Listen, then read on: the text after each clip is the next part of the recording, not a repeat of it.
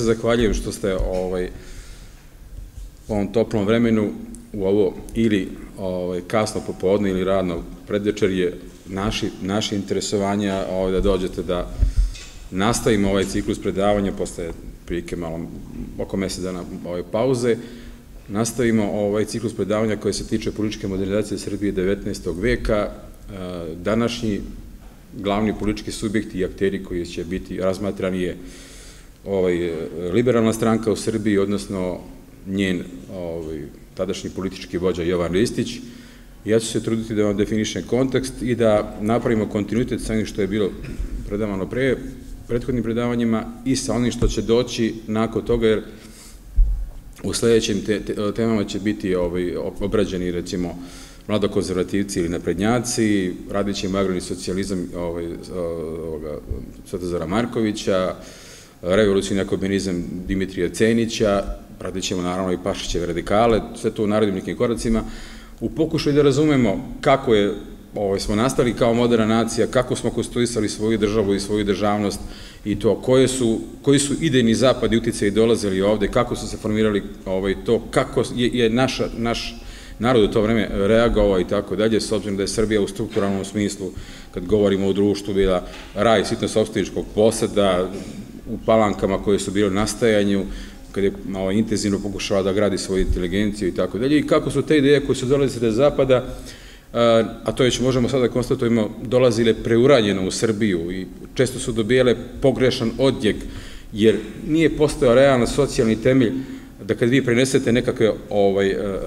liberalne političke stavove iz recimo 60. i 70. godina 19. veka, ako govorimo u toj nivou tog horizontalnog, temporalnog, ovaj, temporalne komparacije sa onim što je u Srbiji, to su potpuno različite, različite strukture društva, različite političke kulture i tako dalje. I te ideje kad dođu u Srbiju, ma koliko bile za to vreme revolucionalne i napredne, one dobijaju, dobijaju nekako drugačiju, pomalo, pomalo devijantnu ovaj, recepciju i na teži način puštaju svoje korenje i obično je potrebno da prođe još nekoliko decenija, ovaj, a nekada i gotovo čitav vek, da bi, da bi se ostvarili nekakve osnovne intencije ili osnovne vrednosti koje te ideje, ideje po sami, sami sebi nose. Ono što je zanimljivo, zašto u naslovu pseudoliberalizam Jovana Ristića, previdi političkih reformi, kao ove teme, ono što je zanimljivo kao mali uvod istorijski, Jovan Ristić je došao na vlast nakon ubistva kneza Mihajla, koji se desili 1968. godine, sad je inače, sam rekao da se neće baviti mnogo događaja na istoriju, nego, nego ovom procesora, procesornom strukturalnom, ali moramo da, da, da uvedemo u, u, u največerašnju temu i taj deo, dakle, pošto smo prošli put radili i kneza Mihajla Brenovića i njegov, njegov koncept policijske države i policijske birokratije, ovaj, da, da, da kažemo da je on stradao, naravno, srpske zavereničke ruke 1968. godine, sumnja je pala na kneza Aleksandra Karadžorđića, koji to vreme bio u, u Budimpešti, navodno sumnjalo se da je on angažavao te zaverenike koji su teli ubistvom da faktički dovedu do promene dinastije, da se knjez Aleksandar Karadžović vrati, vrati ovaj, na predsto i tako dalje. Oni su uspeli da knjeza Mihajla ubiju u šetnji na Topčideru, vrlo brzo je za ovaj, ondašnje prilike reagovala tada sa šrpska žandarmerija deo vojske koji se tu nalazi u blizu, zatvorili su krug, pohvatali i pobili uh, ubice i tako dalje. I ali naum koji je bio u tom trenutku da, da se dođe do promene dinastije nije ostvaren zato što je ministar vojni. Blaznavac u tom trenutku reagovao dosta reagovao brzo, s obzirom da Mihajlo nije imao svoje direktne krvne naslednike, on je iz Francuske doveo tada kneza, kasnije kralja Milana, kao džaka ovaj, iz bočnog dela dinastije Obrenovića, ovaj, to unuka Jevrema Obrenovića i fa, proglasio ga, pak, što onda, u Srbiji su to tada govorili, toga vremena izvikao ga za knjaza i faktički doveo, doveo predsvršen čin tadašnje institucije političke u Srbiji, ovaj, time što je na brz način rešio, pošto je knjaz, budući knjaz Milan bio maloletan, bilo je potrebno da se formira namestništvo koje će voditi državu do formiranja, do sticanja punoletstva, ja, u tom kažem, vreme, često ćemo pominjati i knjaza i kralja Milana, ovaj, i u tom kontekstu, dakle, u namestništvo, pored ministra vojnog, ministra vojnog Plaznavca, dolazi Jovan Ristić. Ko je u stvari Jovan Ristić? Jovan Ristić, e, po svedočenju historiografije ovaj, koja se bavila 19. veku, spadao na jedan od najobrazovanijih ljudi svoga vremena. Čovek koji je inače stasao u okviru e, savjetske birokratije, dakle, pod Garašanjem i tako da ja, bavili smo se tim ustavno-braniteljskim periodom, i tako dalje, i njihovom, da kažem, pomalo reakcionalnom ovaj, držanju u odnosu na, na procese političke modernizacije Srbije, ovaj, potpuno uh, usiden u ideji birokratske vlasti, u dominaciji ovaj, uh, administracije državno i tako dalje, apsolutno distanciran u odnosu na uh, bilo kakve liberalne ideje toga vremena, a o demokratiji pogotovo. On je bio iskreni konzervativac koji je bio uveren u to da je srpski narod u to vremenu apsolutno i politički i prosvetno i ovaj, demokratski nezreo narod i da takvom narodu je opasno davati, davati demokratske slobode i liberalne slobode i kao takav, znači, ovaj, on je i profilisao svoj politički rad, ali i liberalnu stranku koju će, kako ćemo kasnije vidjeti, preuzeti i staviti na njeno, na njeno čelo, njeno kormilo. Ono što je takođe važno za Jovana Ristića jeste da se on, uh, u, pored uh, ovih političkih stavova uh, i, i, to, i činjenice da je bio zaista obrazovan čovjek svog vremena, njegovom političkom usponu i, i, uspehu doprinala je činjenica da se dobro oženio i da je preko te vrste kanala socijalne pokretnosti faktički ušao u vrhove srpskog političkog društva, društva i, državne administracije toga vremena.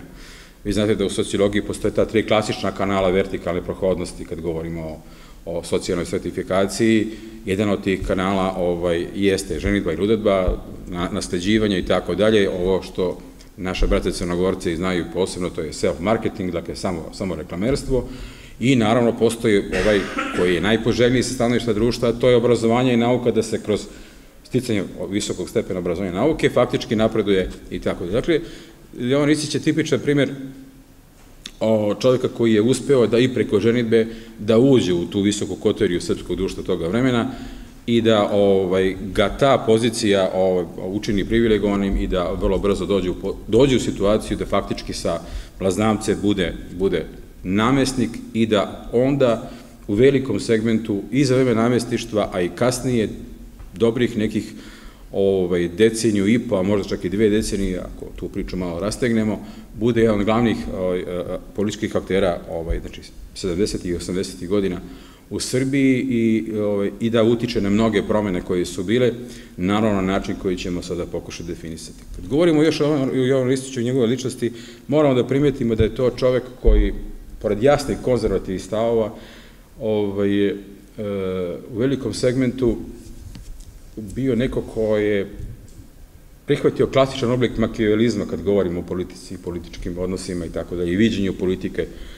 Zašto to kažem? I to ne u makijavelizmu kako ga mi obično razumemo, tako iz kolokvijalne priče, preko medije i tako dalje, povezajući se za, sa aksiološkim segmentom onoga što pojem makijavelizma podrazumeva i to na najčešće na pogrešan način, a to je da ga opravdamo time što kažemo, koristimo krilaticu da cilja opravdava sredstvo. Dakle, takav makiavalizam zaista je krivotvorena priča i pogrešna predstava u našoj pseudo-akademskoj javnosti, pa i medijskoj javnosti i tako dalje. Ta krilatica se može vezati za, za jezuite. Dakle, jezuiti su kao red, red ovaj, izbacili tu krilaticu i tu maksimu i taj princip delovanja unutar politike štiteći interese, interese Vatikana i, i pape, kad su nastali kao borbeni red, borbeni red i borbena milicija za zaštitu interesa, interesa Vatikana, u, u, u procesima kontrareformacije. Dakle, oni su imali taj aksiološ, aksiološki segment i to, i, to, i taj, ta dimenzija se potpuno pogrešno pripisuje Makeveliju. Kad govorimo o Makeveliju, a onda naravno to pričamo zbog, zbog Jovana Ristića, Makeveli imao takozvani prakseološki odnos prema politici. Šta je to značilo? To bi se, ako, ako izvite važi činjenica da su oni govorili o, ovaj, u krilatici da je cilj opravdava sredstvo u praksiološkoj verziji politike kod Makevelija, pa onda i naravno evo Ipso i kod, Jovana Ristića, e, cilj mora da bude saobražen sredstvo. Dakle, to je ta praktična, prakseološka, praktična dimenzija politike u kome na jedan vrlo racionalan način pristupate tome i kažete, aha, ovo je, ovo je, naš, ovo je moj politički cilj ili ovo je naš politički cilj ili ovo su naše politički cilj i koja su sad to sredstva potrebna da bi taj cilj bio što brže i što efikasnije ostvaren. Dakle, to je jedna praktična dimenzija politike, vrlo racionalna i tako dalje, koja naravno jeste uvek skoro na ivici morala i moralnosti i tako dalje, ali nije potpuno aksiološka i nije ovaka kako, kako i ovaj su propagirali ovaj, e, jezuiti i tako dalje. Dakle, Jovan Ristić je dakle, i u tom segmentu bio jako blizak Makeveliju i on je, ovaj, i sad ćemo vidjeti vrlo ovaj, je, direktno i jasno na, na, na način to primenjivao. E, zašto sad ovo kažem i gde je argumentacija? Argumentacija je tome što Jovan Ristić, iako je bio čovek Dakle, birokratskih, ovaj, birokratskih uverenja, čovek konzervativnih uverenja, čovek koji je istirao na državnoj stezi, istirao na, na, na raznim oblicima ovaj, državne represije, od cenzure, hapšenja i proganjanja svojih protivnika i tako dalje. Znači, klasična, onaj, onaj, onaj konzervativni, ovaj, ali ne samo konzervativni, nego, nego čak i, da kažem, i totalitarni ovaj, način, način vladanja u Srbiji toga vremena koji je naravno imao utemeljenje u, u, u ontologiji nasilja koju smo mi nasledili od tri i po, četiri veka okupacije Turske i tako dalje. Mislim da sam to pomenuo, nije zgoro da pomenem još jedan put, e, stav mog profesora pokojnog Milana Kovačevića, koji je to sjajno u svojoj knjizi, knjizi preobraže i prakse ovaj, objasnio kroz ontologiju nasilja. Kaže, Srbi su pounutrili ontologiju nasilja koji su bili izloženi tri i po ili četiri veka u Srbiji toga vremena i oni su tu ontologiju nasilja nastavili da primenjuju i sami prema sebi, znači politička vlast u odnosu na, odnosu na narod i kaže sa stanovišta običnog srpskog građana toga vremena, ovaj, gotovo da nije bilo razlike između toga kako je naselje primenjivano od strane Turske ili i od strane svoje sobstvene vlasti. Odnosno, još bolja pojenta koju je profesor Kovačić tada i tada izneo u svojoj knjizi jeste, kaže, pokazalo se ovaj, e, vrlo brzo da je bilo mnogo lakše isterati Turke iz Srbije nego Turke iz sebe. To je jedna sjajna maksima koja pokazuje kako smo mi faktički pounutrili tu vrstu teologije, nas, teologije nasilja i koristili državne, sad državne mehanizme koje, koje državne koje nastajanju da bi to sprovodili. Dakle, u tom segmentu Jovan, takav jedan Jovan Ristić, on prihvata, faktički preuzima liberalnu stranku ovaj, krajem 60. godina i faktički krivotvori krivotvori i zlopotrebljava sve što liberalna stranka jeste nosila u to vreme, zloupotrebljava, maksimalno instrumentalizuje ovaj, e, njenu, njenu programsku, ideološku ovaj, poziciju, do te mere da će, da će tu stranku faktički, faktički de facto ugasiti nakon, nakon dve decenije ili učiniti je potpuno politički sterilnom i krivom za stvari za koje je on lično bio zaista, zaista kriv, a ne, a ne stranka kao tako. Ali pre nego što nastavimo u tom pravcu, e, moramo da objasnimo situaciju oko političkih stranaka u Srbiji 60. godina 19. veka, pa i samih, i samih ovaj, same liberalne stranke. Pre moramo praviti razliku između uh, svetadijskih liberala iz 1858. godine, koji su preko, i to smo isto predavali, samo da vas podsjetim kroz jednu rečenicu, koji su faktički na toj Svetaneskoj skupštini ovaj, doveli do promene dinastije Vrnovića, protirivanja knjeza Aleksandra Karadžorđevića, dovođenje ponovo Miloša, njegovog knjena sina Mihajla i tako dalje, uvođenje jednog oblika Narodne skupštine kao, kao narodnog tela, vraćanja te vrste resuverenizacije naroda kao, kao takvog i tako dalje, i to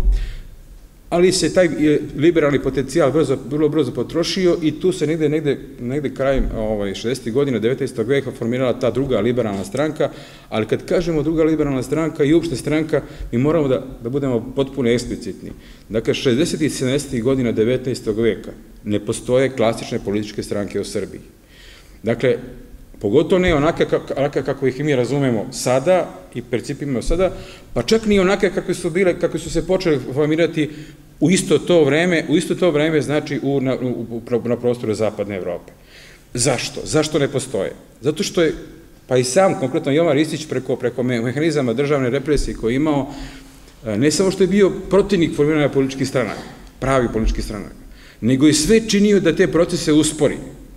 A pošto je bio jezuita u ovom praksiološkom smislu, on je to radio iz vrlo jasnog interesa. Dakle, on nije to radio samo zato što je, je bio diktator, ne je neko ko, ko, ovaj, simpatiše takav način vladanja, nego zato što je znao da ako dozvoli razvoj politički pravi političkih stranaka,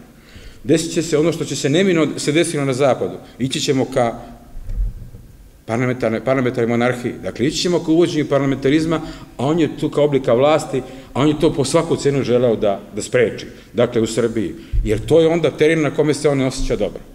I u tom segmentu on je sve činio da, da i njegova liberalna stranka, iako mi stalno i istoričari i mi sada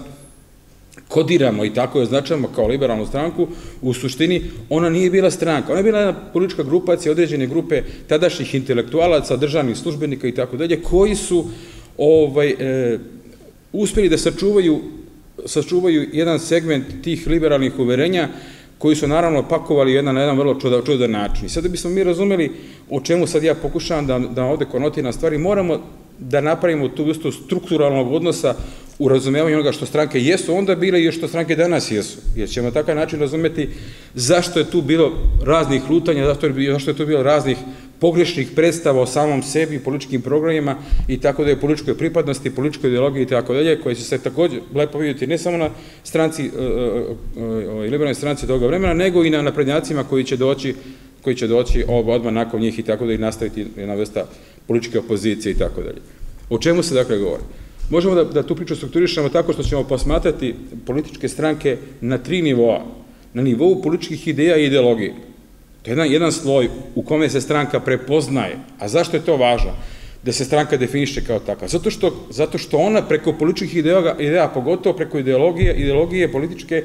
koji sebe definiše kao konzervativno, definiše kao liberalno ili definiše kao ovaj, socijaldemokratsko ili socijalističko i tako da ili marksističko, koje to sve opcije mogu da postoje, pogotovo onda, ona faktički ne samo da opredeljuje svoju političku ideologiju, nego se opredeljuje prema ciljnoj grupi koje se obraća. Ona, se, ona faktički gađa određene socijalne slojeve i intelektualne, ali socijalne slojeve koji treba da postane njeni članovi i čije će ideje i interese artikulisati na političkom tržištu, jer je to osnovna funkcija političkih stranaka, pored toga što se bore za vlast, da vrše artikulaciju ovaj, e,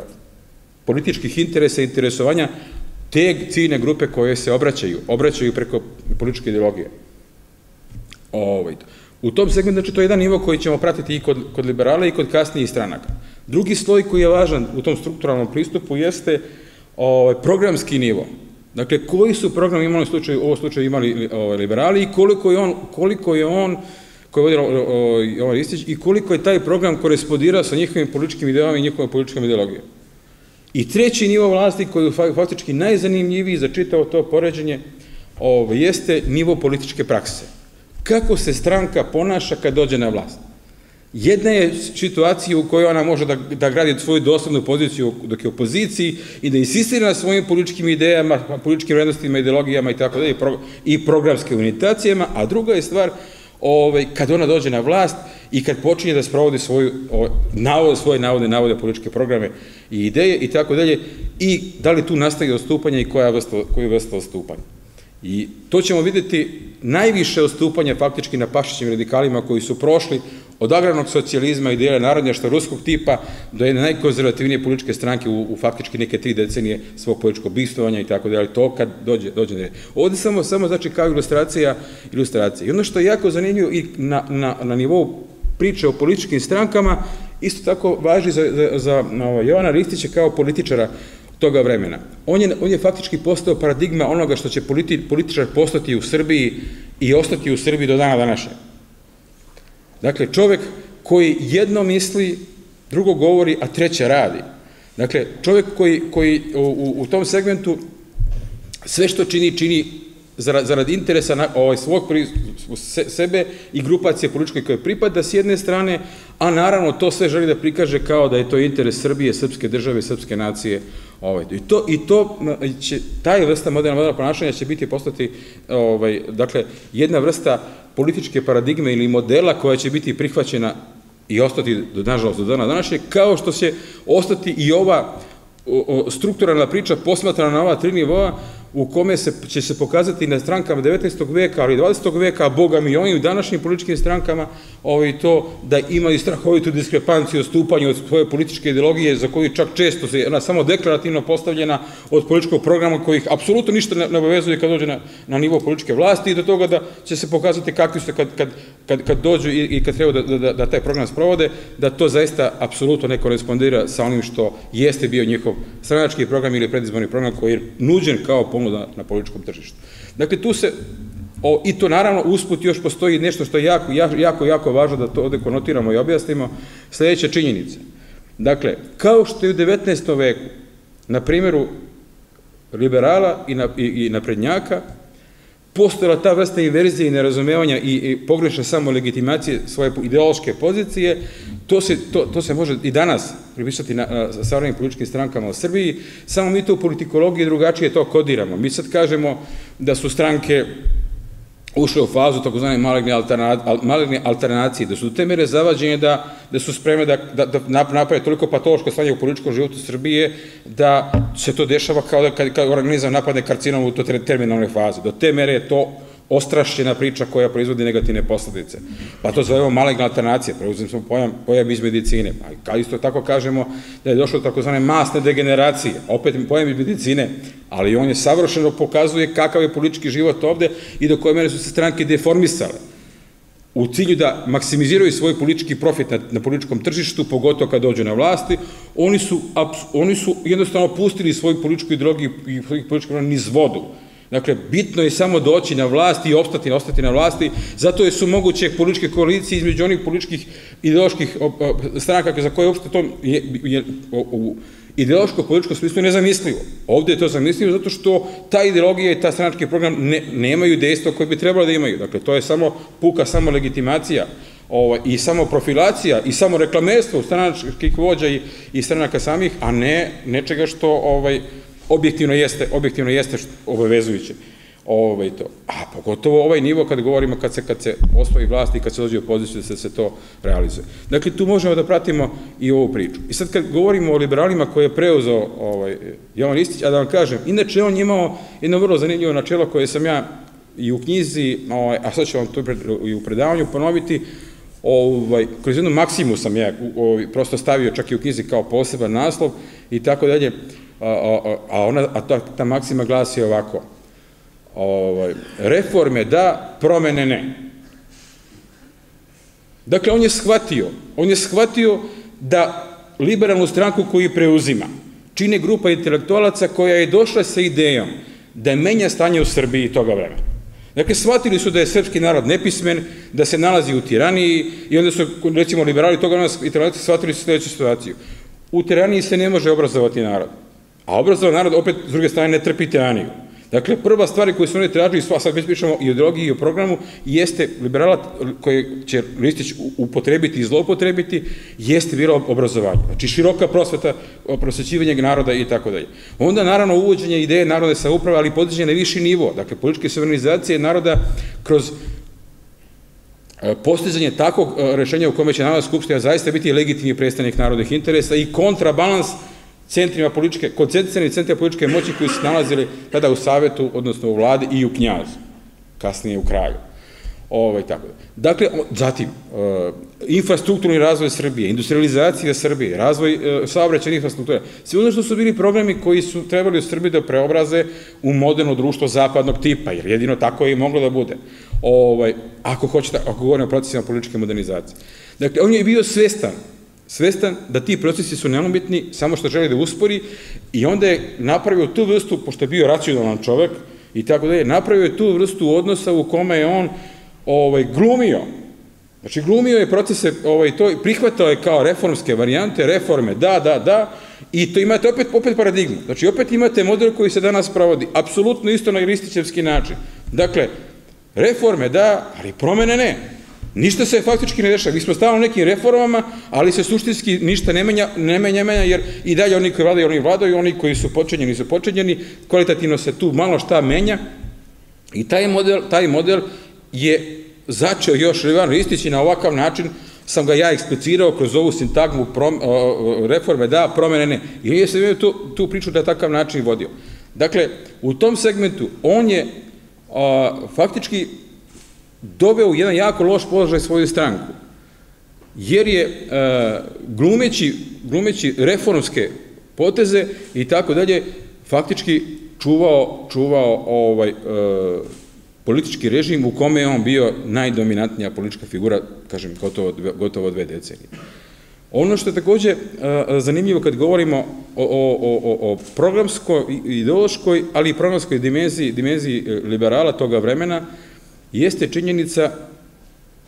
da su oni i u segmentu e,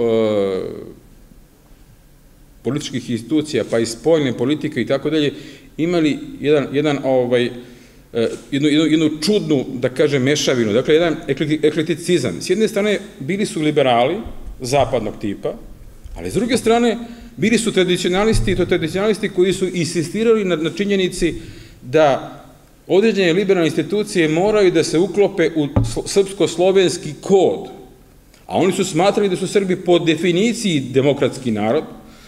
pozivajući se na sabore, pozivajući se na te stare institucije, sloge koje su postojale i tako dalje, ili recimo činjenice kaže, staleške podele, čak i u srednje vekovne Srbiji nisu bile tako, tako žestoke i to današnja Srbija, znači Srbija toga vremena, današnja Srbija, ovaj, to je raj sitnog sobstveničkog posada, dakle tu nema velikih klasnih razlika i tako. To su sve, kaže, ovaj, uh, uh, socijalni i politički elementi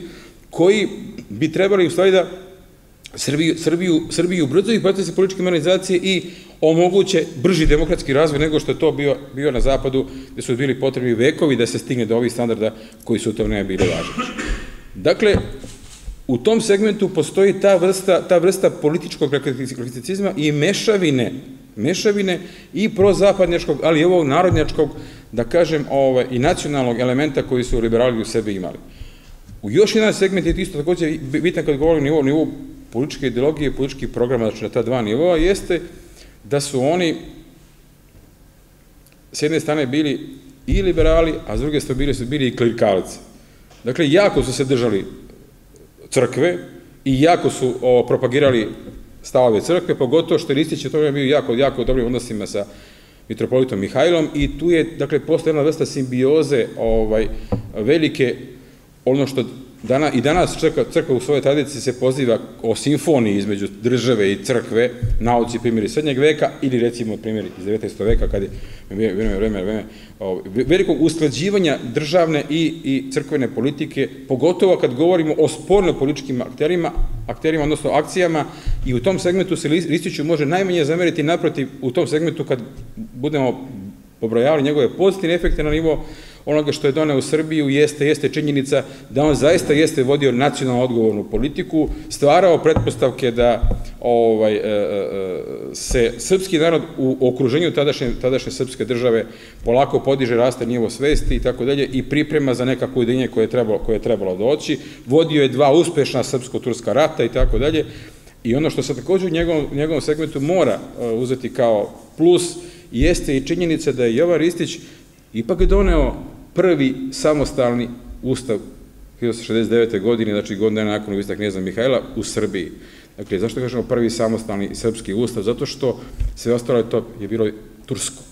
kao posledica autonomije i onoga što je porta davala. Ovo je bio prvi, knjez Mihajlo je to pokušavao time što donosi organske zakone, pa je time faktički menjao unutrašnju konfiguraciju i političkog sistema u Srbiji, ali to još uvek nije bio ustav nego organski zakoni koji su nižeg nivoa pravnih akata i tako dalje. Uh, Jovan Ristić je uspeo da donese taj, taj ustav u Srbiji i tako dalje i bez obzira što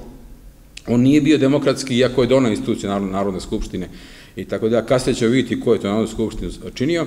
ovaj, to, to jeste veliki modernizacijski ovaj, iskorak, jer je to prvi faktički samostalni, samostalni ovaj, ustav koji je Srbija donela u svojoj modernoj političkoj istoriji i glavni učinak Znači, u pozitivnom smislu bio je i zasluga, bio je Jovanu Ristiću, jer će i drugi namestnik, odnosno prvi namestnik, e, pukovnik e, Blaznavac, e, vrlo brzo preminuti, tako da će Jovan Ristić zaista postati neko ko je objektivno tu priču, priču vodio. E sad kad govorimo, se spustimo se na ovaj treći nivo političke prakse ovaj, i govorimo o, o, o liberalima, Jovan Ristić je stvarno zlopotrebio tu stranku maksimalno. Kaže, ne samo da je, da je ona bila ovaj, usporena, ona je bila maltene i ugašena, kažu ljudi koji su bili savremenici toga vremena, a to, to piše Slobodan Jovanović, ovaj, to, i sav odijum koji je postojao kod naroda i kod političkih protivnika, kod opozicije, se prebacivao mnogo više i to je veša koristio i uvek je govorio u ime stranke. I, i uh, sav odijum koji je postojao, dakle, u srpskom društvu i političkoj o javnosti toga vremena išao je na, na konto liberalne stranke koju je on vodio, mnogo više nego na, na njega samog. A on je bio veš političar, pa je naravno isticao svoje zasluge, a ono što jeste bila jedna vrsta negativnih, da kaže, učinaka, njegove politike uspeo da prebaci na, na, rang, ovaj, rang političke stranke. Naravno, i ono što je takođe važno, kao što je branio drugim strankama da nastanu, on je i svoju stranku kočio u osnivanju, liberalnu stranku kao takvu, kad kažemo stranka, znači ponavljam, mi govorimo o političkoj grupaciji, a ne o klasičnoj stranici toga vremena i to gde će ona faktički u iznuđenoj situaciji početkom 80. godine kad se formiraju naprednjaci radikali i onda liberali post formirati sebe kao formalno registrovati kao političku stranku, ali naravno to je već bila faza, te, faza ovaj, njihove faktičke političke končine i oni nisu više predstavljali ništa, ništa, ništa ovaj, značajno u političkom životu Srbije, Srbije toga vremena. E, ono što je takođe, što je takođe ovaj, e, e, zanimljivo da se, da se u ovom segmentu izanalizira jeste činjenica ko je činio strukturu Skupštine u Srbiji toga vremena. Imate zanimljivu varijantu i tu je Ristić bio vrlo, vrlo rigidan. On je zabranio inteligenciji toga vremena da, da, da, da, da, da, da mogu da budu birani za, za poslanike, da čine poslanike u Srpskom parlamentu. Dakle, zabranio je. Ovo, i to, i ono malo inteligencije što je bilo, naravno da, da je guro u, opa, u, u poziciju kontra, kontra svojim svoji političkih stavima i svoj, svoj političkoj praksi. I sad, ja uvek se potrudim da bar jedan mali pasaž vam u tom segmentu kao ilustraciju dam, koji je iz toga vremena i citat govori sledeće. Dakle, inteligencija, dakle, taj vođa u političkim stvarima, u zakonodavstvu, finansijama i uopšte u državnim poslovima, iz Skupštine i isključena i inteligenciju na Skupštini predstavljali su i predstavljaju isterani panduri, pa ste sad ovo, isterani panduri, isterani pa sa nevaljalstva i telesno kažnjeni žandarmi, opštinski pisari kojih je sva imovina njihova plata od 100 talira godišnje, poneko seosko piskaralo, poneki sveštenik, poneki kaišar i poneki čifta. Pazite vi šta je činilo parlament Srbije 70. i 80. godina 19. veka. To je malo više jednog veka. Da li postoje analogije sa ovim što se danas dešava, to vi sami ovaj, zaključujete, neću ja da vam sugerišem ništa. I u nastavku, nastavku dalje citat kaže, današnja narodna skupština, kao poenta, današnja narodna skupština,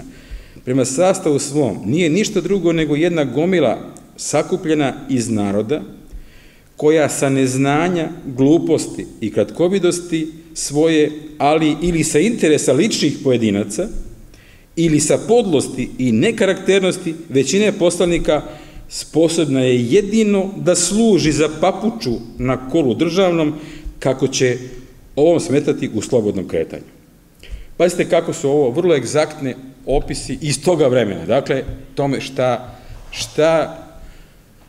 Zašto vam ovo dajem kao ilustraciju? Zato da bi zaista shvatili, shvatili e, kako su to procesi, ti procesi išli jako teško, kako se u Srbiji teško porađala demokratska svest, kako su se teško primali demokratski standardi, kao i ono, i ono što se stvorilo kao inteligencije nije, nije pušteno da uđe u Skupštinu. Nije pušteno da, da dobije istucini obliku u kome će moći da sada deluje kroz instituciju državno, zvanično i tako dalje, ustavno i zakonom definisano i da u tom segmentu čini protiv težu tom polju koncentrisane političke moći koji je išao prema knezu, u ovom slučaju posloga kralju Milanu i naravno ovaj, strankama i tako dalje i tako dalje. I to je ono što je ovaj, vrlo zanimljivo. Moram i pre nego što, što, što polako ovaj, budem privodio kraju ovo da, i, ovaj, da današnje, današnje predavanje kao, kao uvod za naše vaša pitanja, za naš dalje razgovor, ovaj, i da vam samo dam nekoliko napomena o tadašnjoj spoljnoj politici. Jovan Ristić je sa svojom liberalnom strankom i naravno zbog toga što je bio vezan za crkvu i metropoliju, vodio jednu pro, potpuno prorusku priču, da, da budemo, budemo jasni, i Rusija imala velikog uticaja na spoljnu politiku toga vremena. Ali sve, sve do, samo do onog vremena kada će knez Milan, a kasnije kraj Milan, preuzeti faktički kompletno rukovođenje državom, pogotovo vojskom i tako dalje, gde je on napravio tu vrstu vele obrta. Austrija se obradovala što je došlo do ovaj, svega toga, vrlo, da bi pokazala dobru volju, ona je čak organizovala jednu vrstu suđenja knezu Aleksandru Karadžoviću koji se nalazi u Budimpešti, naravno, bez toga dokaza, on, tu taj proces nije ovaj, se urodio, urodio nekim velikim plodom, u smislu dokazivanja da je on organizovao ubistvo knjeza Mihajla, ovaj, pokušaj promene dinastije, ali je pokazao dobru volju Austrije, Austro-Ugarske u to vreme, da ovaj, e, podržava taj novi, novi kurs koji će u Srbiji doći i tako dalje. Usput, naravno, i sad kako to pokazuje, kako te velike sile ili regionalne sile toga vremena, kako deluju onda, tako deluju i sada. Naravno, uvek smo sa svojim interesima. Zbog straha od Italije, koje u to vreme su već formirane velike nacije, italijanska i nemačka, formirane njihove države i tako dalje, Austro-Ugarska ima problem sa, sa, tim teritorijalnim sukobljavanjima, sukob koji, koji je bio i u segmentu dinastičkog i svakog drugog karaktera, Austrija jedina koja je faktički bila u tom segmentu reprezent skoro hiljadu godina Vatikana i jakog rimokatoličanstva i tako dalje, ovaj, je tražila neku vrstu kontrabalansa i prema toj, iako maloj Srbijici, dajući im mogućnost da preokrene svoju politiku i da je veže, veže za sebe. Ovaj, I u tom segmentu kralj Milan je napravio jednu lošu varijantu, jer je potpuno svoj, svoj ovaj, klatno politički svoje politike okrenuo prema Austro-Ugarskoj, čak do te mere da je ovaj, sve političke interese države Srbije nacionalnog karaktera prepustio Austro-Ugarskoj, čak do one, one čuvene ovaj, e, priče o potpisivanju tajne konvencije koja je nekoliko decenija bila tajna za političku javnost Srbije, tadašnji ministar spoljnih poslova Čedomil Mijatović, pošto čas ga nazovu Čedomir, nego nije Čedomir, nego Čedomir Mijatović, koji je to potpisao po ovlašćenju kralja Milana, i tako dalje. Samo i dvojice su znali da je potpisana tajna konvencija i da je on faktički spoljno političke interese i nacionalne Srbije prebacio ovaj, dao o, Večkom dvoru. Dakle, ovo je, evo kažem, jedan ovaj, mali uvod u, ja se nadam, lepo, lepo raspravu i razgovor i vaša pitanja, komentare, sugestije vezano za, za ovaj period, uz naravno tu, kažem, ponavljam, neizbežnu, neizbežnu ovaj, činjenicu i situaciju da je ovaj, mnogo toga se dovalja od naših dana i u smislu modela, prakse, ponašanja i tako dalje, ostalo, ostalo ovaj, i danas prisutno u srpskoj politici, politici i da u tom segmentu mi, nažalost, nismo napravili velike iskorake koji bi nas ovaj, definitivno prelomili kao modernu državu, demokratsku državu zapadnog tipa. Šta god to značilo. A u ovom slučaju znači da ste prihvatili sistem parlamentarne demokratije u najboljim standardima koji on jeste, u sve, sve kritike koje možemo da pripišemo sadašnjim procesima ovaj, dedemokratizacije. Ja i studentima kada objašnjam kod spomenuti teorije modeli demokratije objasnimo koji su, su to modeli demokratije koji su bili, koji su danas, danas o, egzistentni i tako dalje i naglašavamo da, su, da, da je poslednjih nekoliko decenija smo ušli u fazu izrazitih procesa dedemokratizacije, dakle, da se urušavaju demokratski standardi, to govorimo o zemljama jezga, zemljama zapada, da se urušavaju standardi, da se, da se ovaj, demokratski, da se ovaj, e, vrši izvitoravanje, izvitoperavanje političkog života, političkih prava i tako dalje i tako dalje, ali još uvek, još uvek ja ovaj, i njima kažem i sebi i vama isto postavljam pitanje, a šta je to politička alternativa demokratije? Naj, naj, najgore oblik političke demokratije je još uvek mnogo bolji nego bilo koji oblik autoritarne političke vlasti. Toga, nažalost, u našoj političkoj istoriji i e, onaj koja je stara i ova koja je modern, modernijeg tipa, imali smo previše i nikada imali, nismo imali previše sreće kad govorimo ovaj, sa, sa takvim tipom, bez obzira da li je to bilo u okviru Republike ili bilo u okviru monarhijskog tipa državnog uređenja. Dakle, zato I često da imati situaciju, pogotovo danas, da, to smo malo pričali, malo pre, pre, pre ovog predavanja razgovarali sa mojim prijateljima, ovaj, to, pa smo napomenuli da ovaj, o demokratiji danas, e, kao i nekad o nekim drugim stvarima, pričaju ljudi koji apsolutno ne znaju ništa o tome. Ili imaju potpuno pogrešno predstav što demokratija jeste o tome. Ovaj, to ne znajući čak ni one elementarne standarde koji kreću od antičke demokratije kao neposrednog oblika demokratije pa redom preko većinskog oblika predstavničke demokratije, pa jedan do, onoga što jeste polarhija kao model demokratije, onoga što jeste ovaj, multikulturalizam kao model, demokratije i da nabrajam tako da oblika radikalne demokratije i tako dalje, tako dalje. Dakle, raznih modela koji ovaj, su bili ili su egzistentni danas i tako dalje, ili diskurzivne demokratije kao jednog vrlo, vrlo zanimljivog oblika demokratije koji je napravio u varu teorijskom smislu veliko pomeranje i tako dalje. Sve su to stvari kojima, s kojima se dan danas Zapad bori unutar samog sebe, pokušavajući da, da, da, da stabilizuje e, e, svoj demokratski politički sistem, a on će biti, nažalost, ugrožen ne samo unutrašnjim ovim previranjima koji, su, koji dolaze iz segmenta kapitala,